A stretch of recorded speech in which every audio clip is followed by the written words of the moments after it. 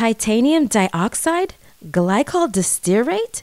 Most cosmetics contain ingredients that don't make sense to you and me, so why use them on our skin?